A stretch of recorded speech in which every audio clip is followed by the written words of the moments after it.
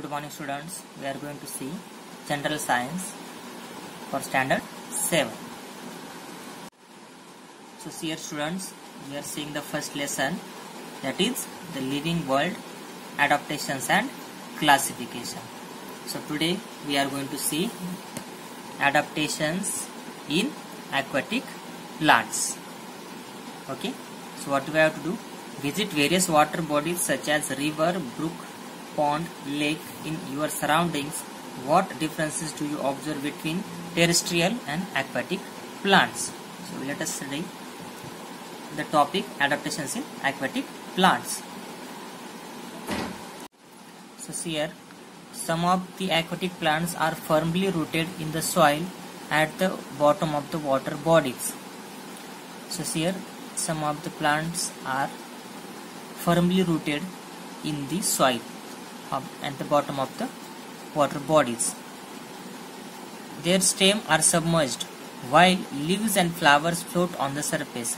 So some plants their stem is underwater and their leaves and flowers are above the water like a lotus. However, some plants are entirely afloat. Their roots are not anchored in the soil. So this is uh, the plant. Uh, these are the plant. They are under the water. They are floating on the water, but their roots are not into the soil.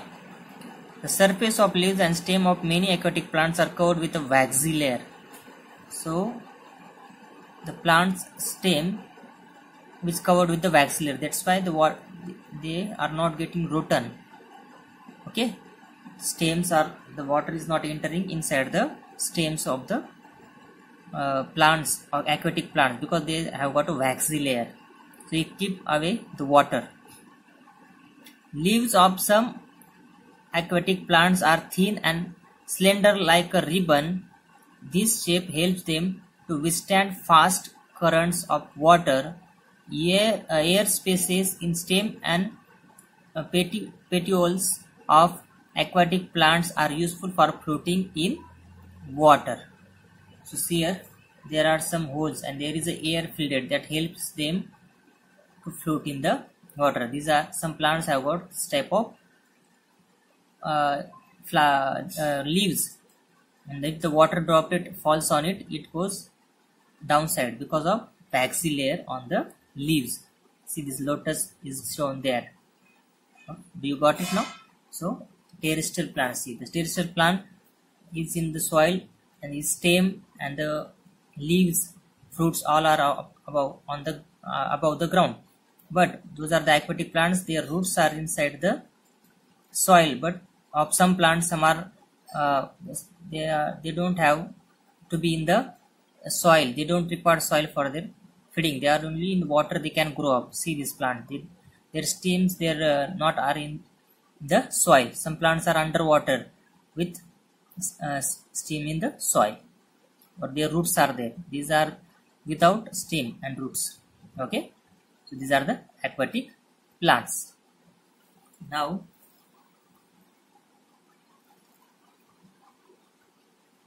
so what is given here? These are the some questions. Why does water trickle off lotus leaves? If water falls on the lotus leaves what happen? it because of waxy layer present on the leaves the water droplet goes out of the leaf. It will not stay it's trickle off. Why don't the leaves of this plant rot in water? I told you because they have got a wax layer on their outer side that's why water does not enter inside and that will not get rotten. Okay? Rotten means sudden it will not get uh, bad odor. Okay not getting rotten why are their roots short and fibrous? Their roots are short and fibrous because this, can stand with fast currents of water. Fast current means flowing water okay? These are these are the adaptations in the aquatic plant. So here adaptations in desert plants. What are the adaptation they are made to survive in the desert by the plants. So here. Take two potted plants one a cactus and the other a leafy plant. Tie plastic bag loosely around the leaves of these plants and keep them in sunlight from early in the morning. In the afternoon bring those pots into the classroom and observe them. This is the experiment given so there is one cactus plant another is a leaves a big leaves plant. You know that cactus plant don't have leaves they only have stems. Okay? So what happened? Has the same quality of water collected in both bags. So we have to see. Uh, you know that there is water vapors come out of the leaves of the plants. Because of photosynthesis water uh, vapors are uh, made. So what is the difference we see so see here what is given here desert uh, desert plant are either leafless or their leaves are like small needles or have some modified into thorns as a result they lose very little water by evaporation, uh, evaporation. The stem stores water and food and is therefore fleshy. The stem are green as they perform photosynthesis in the absence of leaves. Their roots penetrate deep into the soil in search of water. There is a thick layer of a waxy substance on the stem of their plants too. So here, what are the adaptation made by desert plants? They are leafless, okay, or they have very small leaves, or they have thorn-like structure, okay, thorns are there. As a result, they lose very little water from evaporation. So because of evaporation, they lose very less water. So in our experiment, the cactus plant will give less water. In the plastic bag, another will give more water. Vapors collected okay? So what is the next adaptation? The stem stores water and food and is therefore fleshy.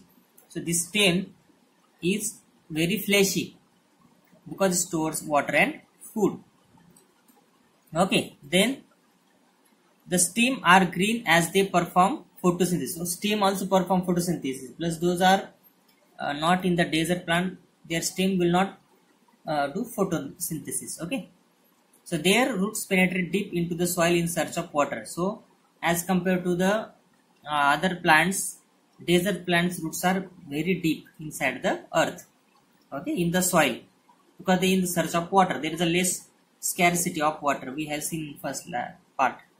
There is a thick layer of a waxy substance on the stem of this plant. So in this also like a uh, aquatic plant, uh, these also have stem waxy layer to get less evaporation get less evaporation from the sunlight okay got it these are the adaptations of desert plants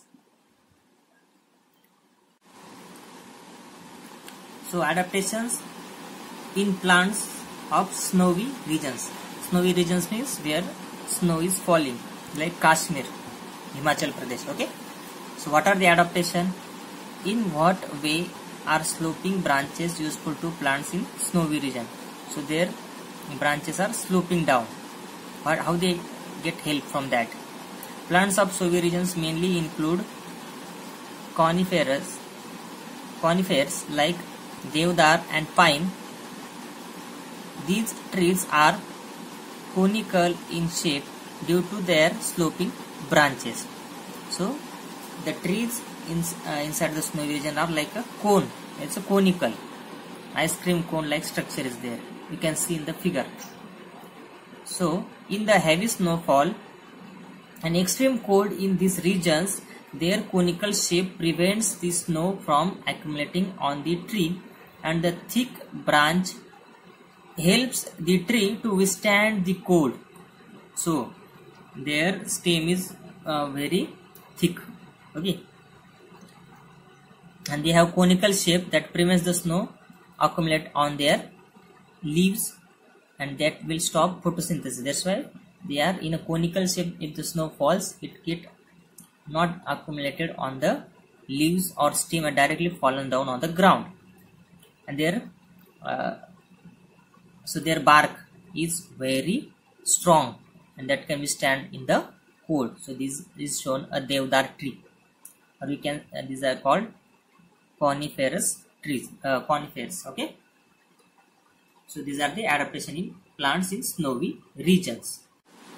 So next we are going to see adaptation in plants of forest regions okay? So in the forest what is the adaptation in the plants variety of plants trees shrubs and herbs are found in forest. These plants compete amongst themselves for sunlight. So there is a uh, race between the plants to get raised into the height. Okay? This plant compete with each other for sunlight. Hence so adaptation in plants of forest region what are the adaptation made by plants in forest? So as there forest too many plants at one place what is their adaptation? A variety of plants trees shrubs and herbs are found in forest. These plants compete amongst themselves for sunlight. There is a competition to get more sunlight to make more food okay in the forest. Hence the tree goes uh, grows tall to get sunlight and climbers and vines grow to a great height with the support of trees. So here many trees are there at one place. So there is a competition. So the trees height is different. As per their capacity they are increasing in more side. And climbers and vines see this climber those are around the trees. They can increase uh, they can increase their they can go in higher height because of these big trees. They are around climbers. And what is their adaptation? Spring like tendril, uh, tendrils of the stems of some climbers is an example of adaptation. So these are the adaptation in the forest. Okay? Their height is getting increased and those climbers and vines grows um, into a bigger height with the support of stems of the plants of heighted plants. Okay? These are the examples of adaptation in the forest region by plants. Now the next is adaptation in grassland plants. So grassland uh, plants what is their adaptation we are going to see? Diverse types of bushes and grasses are found in the grassland. So there is only grass. That place is called grassland. There are no big trees. Fibrous roots of grasses prevent soil erosion. Gra uh, grasses in the equatorial region are very tall. Animals like tiger elephants and deer can remain hidden in these grasses. However grasses in cold region are very short. Animals like the rabbit are found in such grasses. Vast meadows are found in hilly areas as well as plains. So these are given the regions. First is equatorial equatorial region. In that uh, heighted grass is there where elephant tiger deer can hide okay? The next region is cold region. Cold region very short heighted uh, grass is there where only rabbit can uh, hide. And in the plain region and hilly area meadows vast meadows are found. Okay? These are the adaptation depending on the climate around them. Okay? So here some uh, observe and discuss.